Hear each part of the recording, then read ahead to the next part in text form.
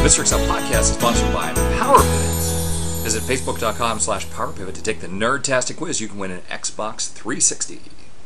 Learn Excel from Mr. Excel podcast, episode 1401, Better Lotto. Well, hey, welcome back to the Mr. Excel Netcast. I'm Bill Jelen. Today's question sent in by Warren from Australia.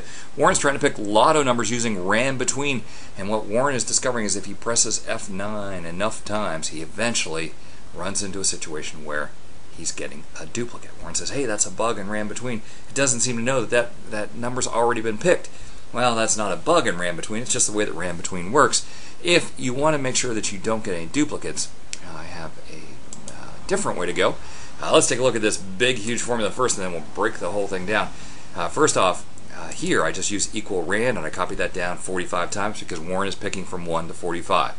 Uh, and then the uh, big, huge formula. Oh, this is going to make your head spin. The match of the large of all of those numbers, comma, column A1.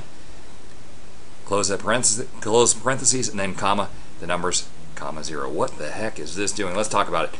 We'll break it down into the three pieces. The column of A1 is just a very clever way to get the numbers 1 through 6 going across. Because when I copy that across, it changes to the column of B1, which is 2 and the column of C1, which is 3, and so on.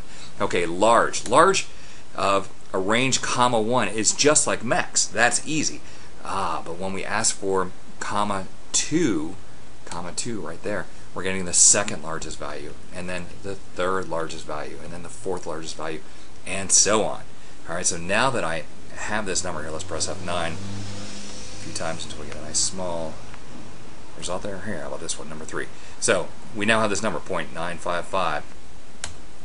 Okay, so what the match is doing is saying, hey, go look for this number, 0.955, in this whole range of numbers and tell me where it occurs. And so in this particular case, it's occurring in uh, cell 3. So put all that together, and we have our six numbers, and it should very, very rarely repeat. It's only going to repeat if one of these random numbers happens to occur twice, which is such a, uh, a large amount of precision there in those random numbers, uh, it's, it's very unlikely that you're ever going to get a duplicate within 45. It might happen, uh, much less likely than the uh, RANDBETWEEN method that Warren had. Go ahead. I want to thank you for stopping by. We'll see you next time for another Netcast. Mr. Excel.